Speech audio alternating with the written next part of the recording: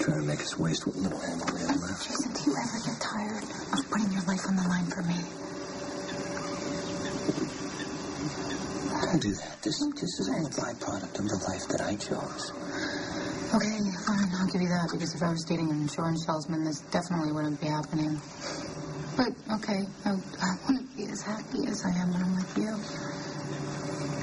I mean, sometimes I don't understand. I mean, I've put you through so much. I mean, what do you, what do you get from it? Look at you. And that's all that really matters. I mean, and if you're feeling really guilty, you can make it up to me with a bubble bath when we get home.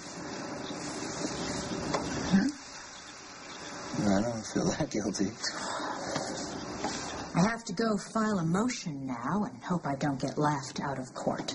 In the meantime, while I am gone, please try to refrain from speaking to anyone you think might be sympathetic to your cause.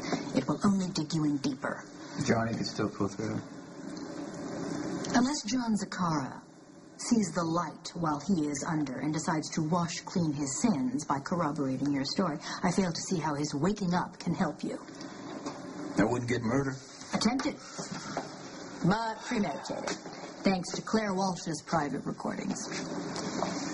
I realize that your dimples have gotten you so far, but did it really once never occur to you that she might be wearing a wire? Maybe I didn't want to see what was right in front of me. Wouldn't be the first time.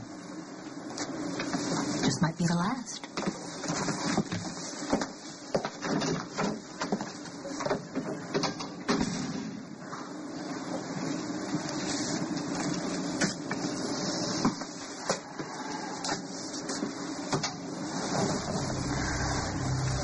Where are they? Where are you hiding it? There's no bugs, not here! What does that mean? Not here. I heard the tape of you and Harry. That's how this whole thing got started. Oh. You guys were talking about Lily's father, and I came to you and asked you for the truth, and you lied to me again. You didn't need to know. I needed to know the truth. Why couldn't you trust me? Deceit, betrayal, those are words you know real well.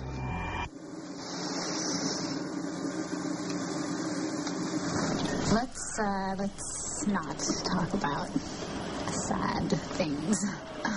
Let's celebrate. Yes, let's celebrate. That's exactly what. You're accepting my proposal. What are you talking about? I am clearly not. I am toasting you, however, because you are a big movie star. And um, I would like to make a toast to Murphy Sinclair, who is uh, in the studio's biggest movie franchise. Okay, ladies and gentlemen, To you. first I'd like to thank the Academy. And secondly, very special mention here to this beautiful, incredibly hot and talented model and philanthropist who's taken time away from her calendar, very busy calendar, to come to Lake Como and drink beer with me in a canoe. I don't want to get in a canoe. Today, I just am. Uh, let's. Oh. Run lines. Run lines, I don't have Let's lines. run lines. Guy doesn't have any dialogue, he barely speaks. Of course he doesn't. He doesn't. Of course he doesn't. He's distant and aloof, seemingly aloof, Yes. possibly mindless. And when he takes someone out, he has no regrets. Yes. Total disconnect. He feels nothing. So practice that. You feel nothing. Um, so I forgot that you know all this because you know the guy who can kill people with his bare hands. Yeah, my husband. Your what?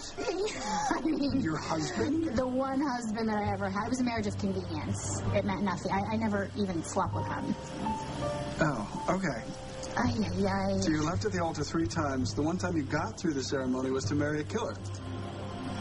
Because it was convenient. Brenda, Yeah, attacking the beer bottle. sorry. Honey, don't you think it's time that you got married for love?